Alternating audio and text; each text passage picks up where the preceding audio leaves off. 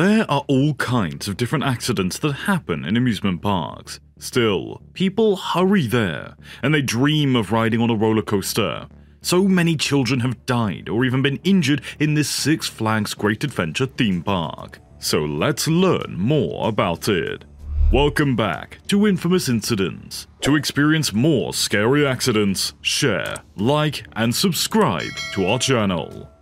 The El Toro roller coaster at the Six Flags Great Adventure theme park in Jackson Township, New Jersey, sent five riders to the hospital.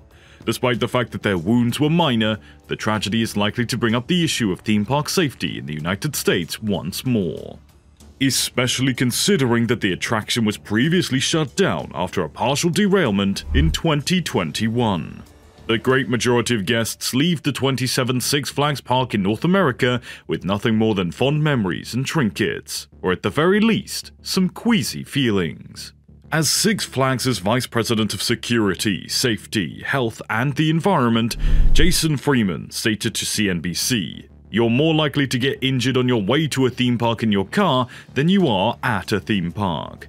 In addition, he said that when you look at the 157 million rides that we deliver in a year, and when you look at us versus other industries, you'll see that we are a very safe industry. However, a number of significant occurrences, some with tragic outcomes, have been reported at Six Flags amusement parks over the years. On May 11, 1984, at the Six Flags Great Adventure Park in New Jersey, the same location as Thursday's accident, the company's deadliest single tragedy ever occurred. A spooky castle in the park that lacked sprinklers or smoke alarms caught fire and killed eight teens. Six Flags Corporation President Dan P. Howell stated that no park policies had been broken following the accident. We believe we were in compliance with all of the codes. We believe we took the necessary steps to protect the public, but the tragedy happened anyway, he added at the press conference.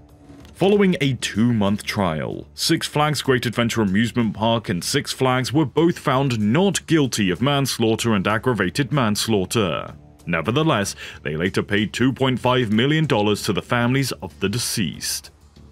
Since it opened in 1971, Six Flags Magic Mountain in Valencia, California has seen a number of catastrophes.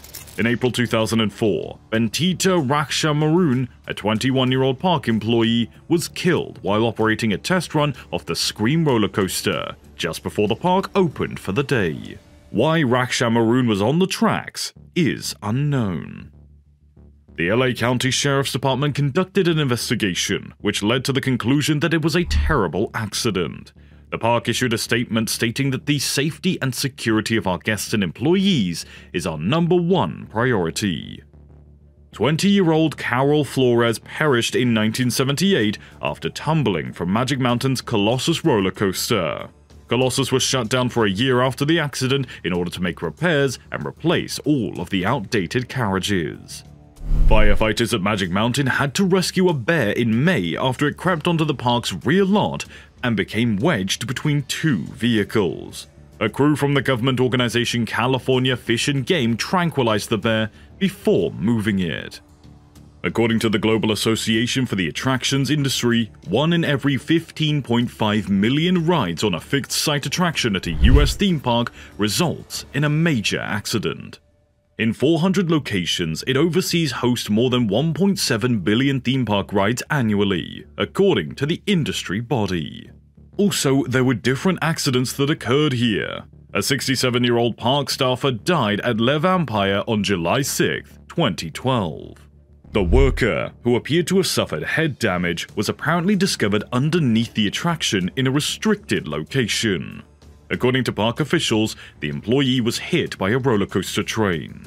The worker was declared dead at the site, while another person was brought to a hospital for trauma therapy. Officials at the park stated that the ride was functioning regularly, and that procedures for entering restricted ride zones, including notified ride personnel, had not been followed. However, they did not know why the employee entered the restricted part of the ride while it was in operation. On August 25, 2019, As one of the trains was starting its initial ascent, a passenger's safety harness failed, leading to an emergency stop. The Super Manege's safety sensors stopped the train's initial ascent. The roller coaster closed soon after than planned on this, its final day of operation. To continue their park visit, all visitors were removed from the area. A 16-year-old girl experienced problems after riding the roller coaster on September 22, 2001. She sadly passed away after being transferred to Prince George's Hospital Centre. Her demise was brought on by a pre-existing heart problem, according to an autopsy. When one of the ride's supports started to tremble on June 20th, 2021, the ride had to be stopped immediately. No injuries were recorded and all of the passengers were evacuated. The attraction reopened on July 13th of 2021 after being temporarily closed for inquiries. Families should take advantage of the opportunity to visit the nearby theme parks during spring break and summer vacation. Even for happy events, many businesses appreciate these attractions. Everyone enjoys the sensation of entering a different world and getting away from the stress of daily life, from the photo possibilities to the food and thrilling rides.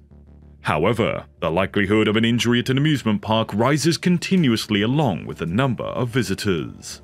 Why does this happen? Even though amusement parks follow strict safety checks and guidelines, accidents and fatalities nevertheless happen frequently. The National Electronic Injury Surveillance System, NEISS, estimates that more than 36,000 injuries occur each year, almost half of which involve children. When compared to the 335 million people who successfully ride 1.8 billion theme park rides each year, this number includes the fixed ride theme park attractions, water rides, inflatable rides, and fair rides.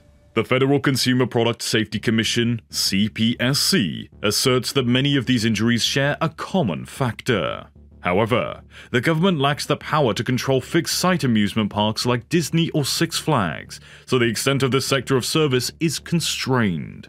Only portable rides, such as those at fairs and carnivals, are regulated by the CPSC. There are laws governing fixed site rides in some states. Other parks use insurance providers to confirm compliance. Nevertheless, faulty ride operation, mechanical failure, passenger misuse, and the nature of the ride all contribute to numerous injuries. If you or a loved one suffers an injury at an amusement park, what starts out as a pleasant day of making memories turns into a nightmare. Millions of tourists count on ride operators to do their job with the utmost care and attention, but ride after ride, hour after hour, complacency sets in. Losing a life is possible with even the smallest amount of carelessness. On average, 8,000 individuals are hurt on amusement park rides each year. The Federal Consumer Product Safety Commission, CPSC, provided these figures. High amounts of cerebral stress caused by excessive speed can result in traumatic brain injury. An injury can also result from detached objects striking at a person's head. People can sustain various cuts, torn ligaments, and broken bones. These incidents really break your heart. What do you think? Do you want to shut this monster up? Do comment your thoughts down below, and feel free to support our channel by clicking the like and subscribe buttons. To get notifications about our upcoming videos, hit that bell icon too.